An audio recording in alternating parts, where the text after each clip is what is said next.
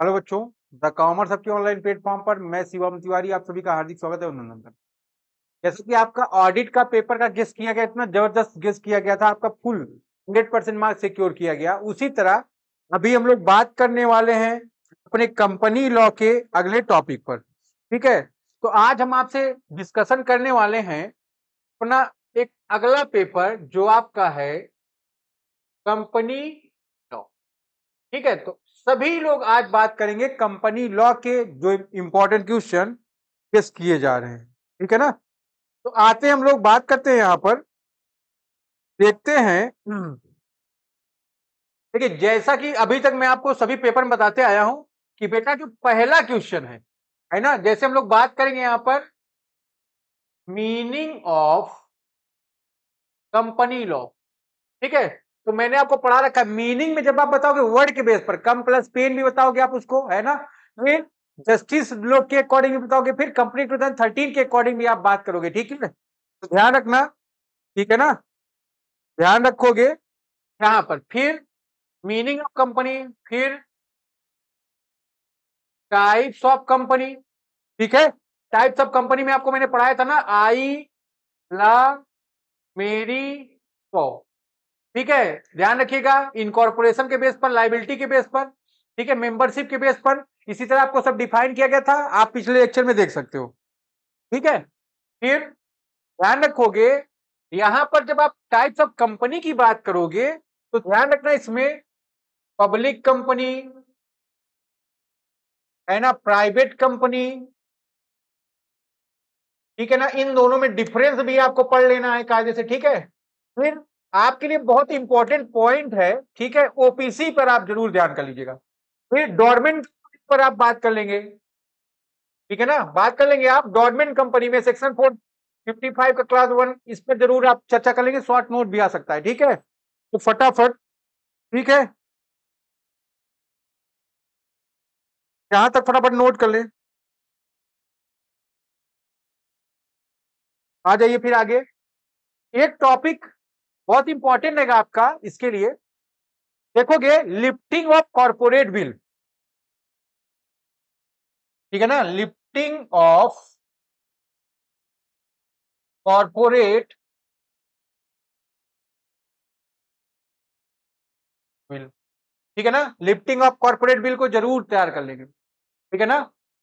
इसमें most important question आपका ये रहेगा ठीक है? ये तीनों क्वेश्चन बहुत इंपॉर्टेंट रहेंगे, ध्यान रखिएगा। फिर आगे बढ़ते हम लोग। यहाँ तक नोटिंग कर लेंगे सब लोग। आ जाएँगे हम लोग। देखोगे? एक मिनट। अच्छा कंपनी का फीचर्स भी आपको मैंने पढ़ाया था ना कंपनी कैसे होनी चाहिए टॉप क्लास की, उसमें आप इंक्लूड कर लोगे। ठीक है? ये सब चीज़ आप बिल्कुल नहीं भूलोगे। फीचर्स स्कोप ये सब। ठीक है? फिर लिफ्टिंग ऑफ़ कॉर्पोरेट बिल को डिस्क्राइब करिएगा आप, ठीक है? फिर देखेंगे हम लोग। प्राइवेट अच्छा कंपनी का स्टेब्लिशमेंट जब करते हो, है ना? स्टेब्लिशमेंट ऑफ़ कंपनी इसका जो प्रोसीजर है, ठीक है, इस प्रोसीजर पर आप चर्चा कर लेंगे। कौन सा फॉर्म भरना है क्या क्या कार्रवाइयाँ होनी है, ये सब आप यहाँ पर बात कर लोगे, इस बात को आपको ध्यान रखना रहेगा, ठीक है ना? कहने का मतलब कि कंपनी का जब आप रजिस्ट्रेशन करवाते हो, कंपनी का स्टेब्लिशमेंट करते हो तो क्या क्या कार्रवाइयाँ होनी है? कौन सा फॉर्म भरोगे? किस किस पर्सन की रिक्वायरमेंट होगी? ये सारी बात आपको यहाँ तक कर लेना है, ठीक है? फिर देखिएगा एमओए एंड एओए इन डॉक्यूमेंट को पढ़ लेना कायदे से। इसमें डिफरेंस पढ़ लेना है, इसके टाइप्स को भी पढ़ लीजिएगा, ठीक है? तो इसको ध्यान में रखना है। फिर आगे बढ़ेंगे हम लोग।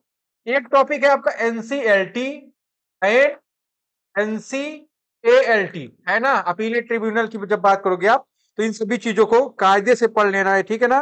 ध्यान रखना है बेटा, इन सब चीज़ों में आपको कोई लापरवाही नहीं करना है। हो सकता है यहाँ से आपका जो क्वेश्चन हो टेन मार्क्स का एनसीएलटी से मिल जाए, ठीक है? एमओए से मिल जाए, ठीक है? डिफरेंस मिल जाएगा, ठीक है? यहाँ पर बिल्कुल भी हम लोग को कोताही बरतने की ज़रूरत नहीं है, लापरवाही बरतने की ज़रूरत नहीं है, ठीक है? देहाती लैंग्वेज थोड़ा थोड़ा यूज़ होता रहता है, ठीक? आप इसको ध्यान में रखे रहिएगा। चलिए आगे बढ़ते फिर हम लोग इसके बाद।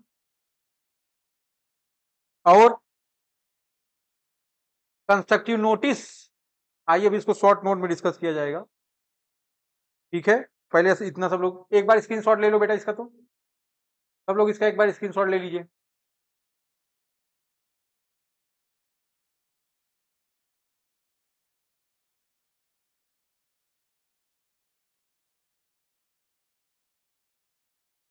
आगे देखते हैं हम लोग। इसके बाद एक क्वेश्चन हमको पढ़ना है प्रोस्पेक्टर से। ठीक है? आ जाएँगे क्वेश्चन नंबर छह लिख लेंगे यहाँ पर हम लोग।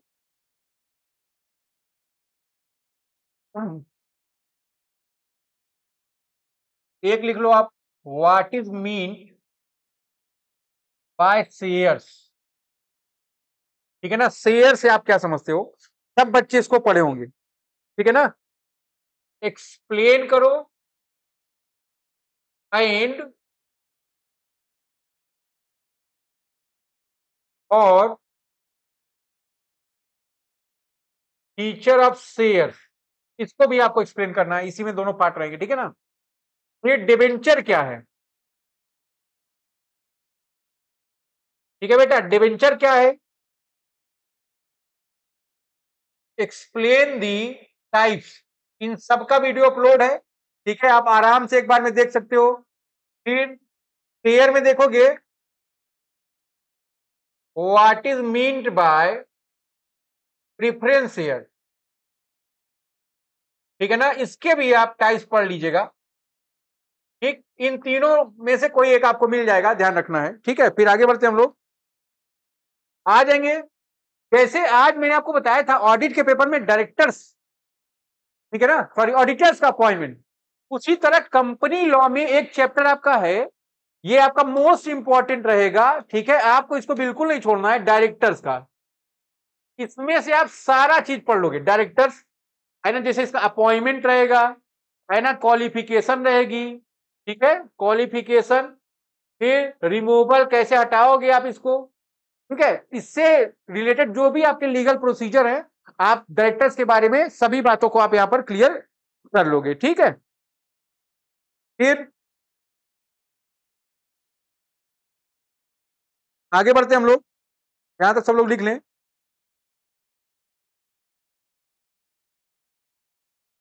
एक पॉइंट है आपका। बाय बैक ऑफ़ शेयर्स ठीक है ना? इसको कायदे से पढ़ लीजिएगा। सिचुएशन में बाई बैक किया जाता है इसके लीगल प्रोसीजर क्या है इन सभी बातों को आप बहुत कायदे से लर्न कर लोगे ठीक है ना? इसका मेन एम क्या रहेगा? हो सकता है ये आपका सेक्शन ए में आ जाएगा ये भी आपका इंपॉर्टेंट क्वेश्चन रहेगा इसको भी आपको बिल्कुल हम्म, कायदे से डिस्कस कर लेना है ठीक है?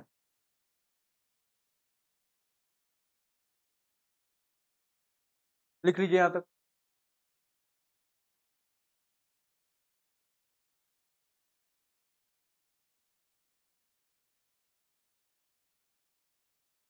आगे बढ़ते हम लोग। यहाँ तक सबका हो गया है। आ जाएँगे, इसके बाद हम लोग मीटिंग में। ठीक है ना? Question number eleven meeting meeting को एक्सप्लेन करिए, है ना? और टाइप्स ऑफ़ देखोगे यहाँ पर। टाइप्स ऑफ़ मीटिंग को भी एक्सप्लेन करोगे। टाइप्स ऑफ़ मीटिंग को भी आप एक्सप्लेन करिएगा, इस बात को आपको ध्यान रखना है। ठीक है ना? ध्यान रखिएगा। आगे बढ़िए। फिर हम लोग आ जाएँगे आगे। शॉर्ट नोट शॉर्ट नोट पर आपको काम करना रहेगा बेटा। ध्यान दीजिएगा। ठीक है? इसमें आप लिख लीजिए। स्वीट इक्विटी शेयर्स के बारे में पढ़ लीजिएगा। एक बहुत प्रचलन में टॉपिक है आपका ई गवर्नेंस ठीक है ना? तो आप पढ़ लेंगे ई गवर्नेंस के बारे में एक बार। डिजिटल सिग्नेचर ईजीएम पढ़ लेंगे आप मीटिंग में ये टॉपिक कवर हो जाएगा, ठीक है ना? टाइप्स ऑफ़ मीटिंग में, ठीक है? एमसीए ट्वेंटी वन पढ़ लेंगे आप डिजिटल सिग्नेचर पढ़ लेंगे। Digital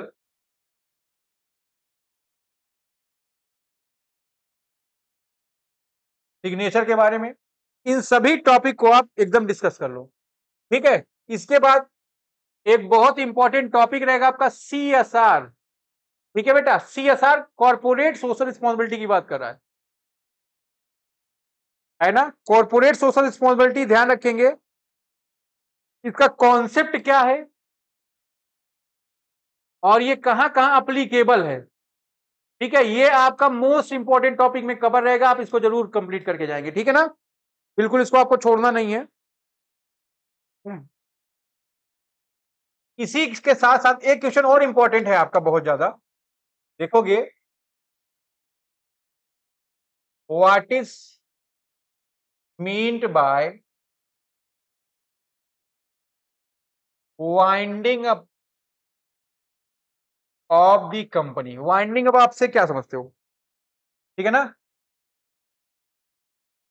Explain the procedure of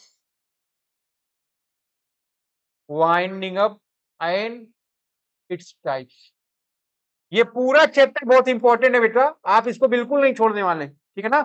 यहाँ से क्वेश्चन आपको मिलना मिलना है।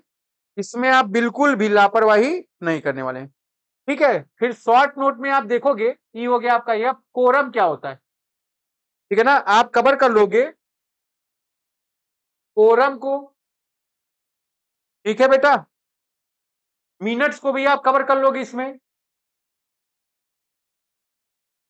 एक टॉपिक और रहेगा आपका, इसके साथ पोस्टल बैलेट पोस्टल बैलेट को भी एक बार पढ़ लीजिएगा आप। ठीक है? तो ये सभी टॉपिक आप कवर कर लें एक बार।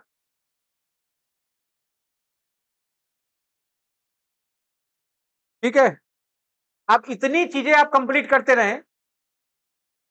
एक छोटा सा टॉपिक हम लोग कल शाम को डिस्कस करेंगे। पेपर का एक जो निचोड़ रहेगा उसको, ठीक है?